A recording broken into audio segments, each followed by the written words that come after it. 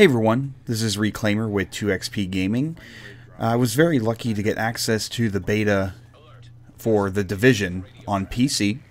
I've been playing it for a couple hours now, and I wanted to give you some initial impressions of my PvE experience in the beta.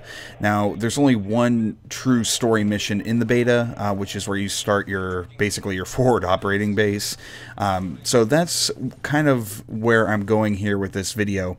As you can see, we jumped right into it, and we're kind of looking at the gunplay and the mechanics of the game in one of the random maybe not so random encounters that showed up on my map. Here I'm supporting the Joint Task Force uh, by getting rid of some, some baddies. Uh, so you can kind of see the use of the cover system here the reload mechanics as well, vaulting, etc. Um, the game makes for pretty interesting use of cover. Uh, it's kind of like snap cover, and it's kind of like what you would see in Gears of War. Um, although it does feel a little clunky, especially when moving from cover to cover. Uh, keep in mind this is a third-person shooter, so you can do see here that this is all third-person. Um, your grenade throws are marked on the map, and you're kind of seeing your DPS, your damage per shot. As you hit some of these baddies, you see a, a little bar over the top of them with uh, their health indication and their level indication uh, which is really, really similar to Destiny, but it's also things that you'll find in other MMO games, which this is kind of an alternative MMO game.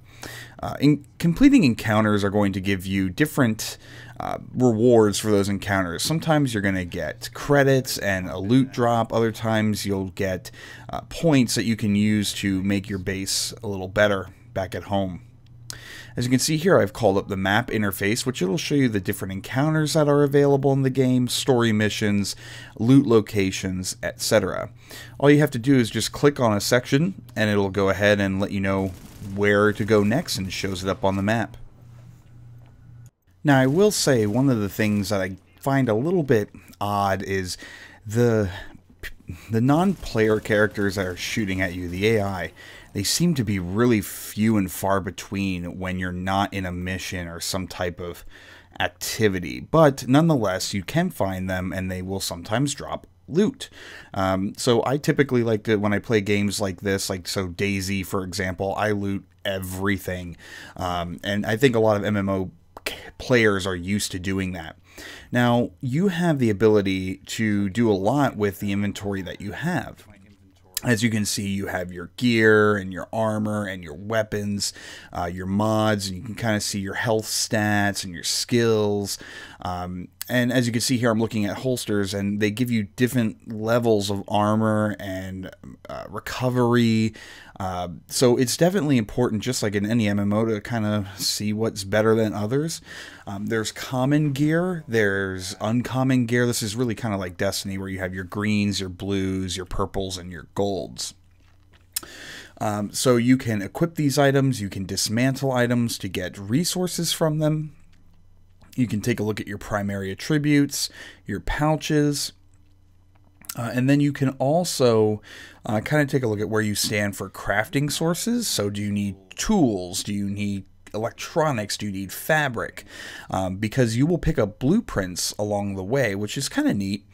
And then you kind of have your your appearance mods, which really don't do anything for you. It's just what your character looks like.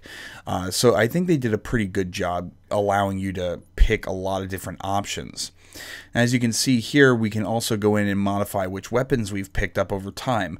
Of course, one of the things you look at is damage per shot, but there's some other things you want to look at too, like your accuracy, uh, stability, range, anything. You know, if you're if you like stats, this game has plenty of stats for guns. Uh, so definitely, you know, choose wisely when you're equipping the weapons of your choice. Um, same thing with things like armor. Uh, you want to keep keep in mind that you know you might have something on that you got early on, but if you're not equipping things that you have found, um, you might be missing out on some extra armor perks. Uh, additionally, there are mods that you'll pick up, for example, this vertical grip. Uh, I've so far found laser pointers and optics, extended magazines, um, things that, again, you will find in a lot of different MMO and even FPS games from time to time. Uh, so make sure that you're looking through and equipping those things. Uh, I, I, definitely think that they, they put a lot of thought into uh, the inventory system, so kudos to Ubisoft for that. So another thing I'd like to call out are the perks. So there are a lot of different perks that you'll be able to unlock in this game that will help not only you, but your teammates as well. So currently I have a perk on that pings the area and shows me um, enemies nearby. And I also have a perk on that's kind of like a sticky grenade that you shoot at a piece of cover and then you can remote detonate it, which is pretty cool. Over time you'll unlock these things. Um, one of the things that I, I guess there's two other things I want to call out about the PVE experience with the Division, at least in the beta. The first thing I want to call out is kind of the some of the complaints that people have been having, uh, and it is one of my complaints as well, about the MMO style of damage per shot to human enemies when you're playing a game with, you know, mythical creatures or aliens and you're shooting something in the head and they're not dead yet, I can understand that it kind of takes multiple headshots to down something.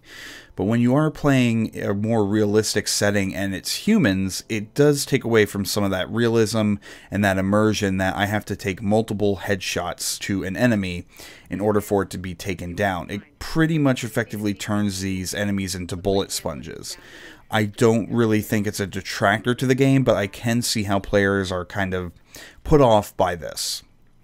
The other thing I wanted to call out is graphics on the game. Now, this is something that has been really um, controversial since the first trailer at E3 2013 overall, I'm going to say that I am very pleased with the graphics. Now, you have to keep in mind that I'm using a OBS stream um, record, which is not at full quality. So you're not really getting the justice of the game in this video. But I will say that my GTX 980 card, the default setting is Ultra.